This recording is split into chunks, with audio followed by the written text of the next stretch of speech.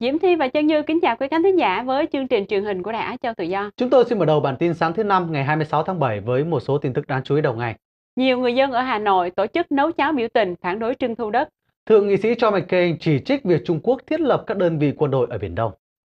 Kính thưa quý khán thính giả, từ 7 giờ sáng cho đến 5 giờ chiều thứ ba 24 tháng 7, khoảng 1.000 người dân xã Liên Hiệp, huyện Phú Thọ, Hà Nội đã kéo nhau ra trước sân Ủy ban Nhân dân xã để nấu cháo biểu tình, yêu cầu chính quyền giải quyết trả lại đất tham nhũng cho bà con, đồng thời xử lý nghiêm các cán bộ đã vi phạm. Đây là lần thứ ba bà con xã Liên Hiệp tổ chức nấu cháo ngay tại sân Ủy ban Nhân dân xã. Ngoài việc mang trống, chở nồi niêu, củi lửa ra sân Ủy ban Nhân dân để nấu cháo, bà con còn treo rất nhiều biểu ngữ xung quanh khu vực này. Một người dân ở xã, ông Đỗ Sĩ Thục, cho Đài Á Châu Tự Do biết nguyên nhân của việc người dân nấu cháo biểu tình. Toàn bộ nhân dân xã Liên Hiệp sau khi phát giác toàn bộ bộ máy chính quyền của xã tham ô, cắt rút bớt của đất của dân và cắt bán các dự án nọc dự án khống bán cho các xã khác ngoài địa phương. Người dân ở xã Liên Hiệp cho biết, ngày mai và những ngày tiếp theo, họ vẫn tiếp tục tổ chức nấu cháo cho đến khi nào chính quyền địa phương giải quyết vụ việc mới thôi. Đài Á Châu Tự Do có tường thuật chi tiết về sự kiện này tại trang web arvtiếngviệt.net. Mời quý khán thính giả vào đọc, nghe và xem thêm. Quay lại với những căng thẳng tại Biển Đông. Thưa quý vị, từ nghị sĩ John McCain của Hoa Kỳ hôm qua đã lên tiếng cho rằng Trung Quốc đang có những hành động khiêu khích không cần thiết và không xứng với một cường quốc có trách nhiệm khi thiết lập đơn vị đồn trú quân sự trên các quần đảo tranh chấp ở Biển Đông. Thượng nghị sĩ John McCain ngày hôm qua ra tuyên bố như vừa nêu, theo ông thì các hành động của Trung Quốc như việc chỉ định các đại biểu lập pháp để mà quản lý những khu vực đang tranh chấp chỉ làm tăng thêm mối lo ngại của các quốc gia châu Á trong việc tuyên bố mở rộng lãnh hải của Trung Quốc. Thượng sĩ McCain nói là Bắc Kinh gây thất vọng và không xứng đáng với một cường quốc có trách nhiệm. Ông cũng nhấn mạnh các quốc gia liên quan trong tranh chấp chủ quyền ở Biển Đông nên tìm kiếm một giải pháp hòa bình đa phương dựa trên luật pháp quốc tế.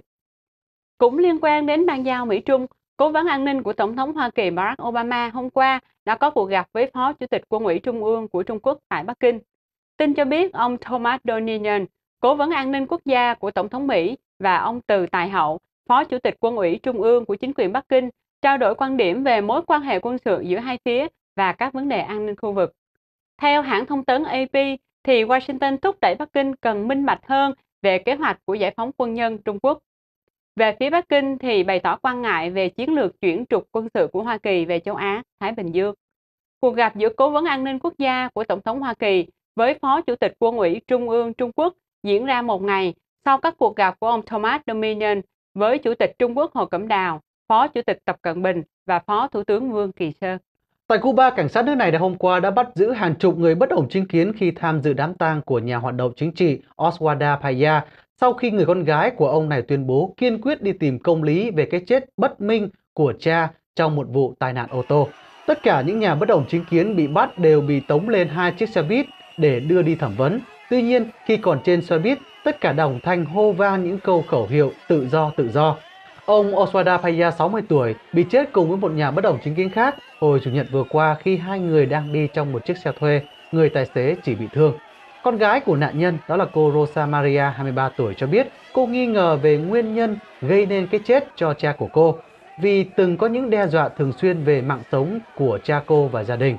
Ông Oswara Paya được trao giải thưởng nhân quyền Saparov hồi năm 2002 vì đã đối mặt với Quốc hội Cuba trao thể nguyện thư có chữ ký của 11.000 người đòi hỏi thay đổi chính trị tại Cuba. Và thưa quý vị, nhiều người tiêu dùng tại cao nguyên trung phần Việt Nam phản đối trả lại nồi ủ đa năng Trung Quốc vì chất lượng không giống như những gì quảng cáo. Ngày thứ hai và thứ ba, hàng chục người dân tại huyện Krông Park đã kéo đến chi nhánh công ty cổ phần quốc tế An Khang tại thành phố Buôn Mê Thuột, nơi nhập khẩu loại nồi ủ đa năng có xuất xứ từ Trung Quốc để trả lại sản phẩm này. Theo bà con, người ta quảng cáo rằng nồi này có khả năng nấu chín thức ăn trong vòng 10 phút và có thể giữ nhiệt trong vòng 8 giờ tiếp theo. Tuy nhiên, những người mua và sử dụng sản phẩm này đều cho rằng đây là lời quảng cáo bịa đặt và nồi không nấu chín được thức ăn. Hiện tại, nhân viên công ty An Khang cho biết công ty ông chưa xuất bán loại sản phẩm này và nhấn mạnh rằng phiếu bảo hành có dấu mộc của công ty có thể là giả mạo. Quý vị vừa theo dõi bản tin truyền hình của Đài Á Châu Tự Do. Diễm Thi và Trân Như xin kính chào tạm biệt quý vị.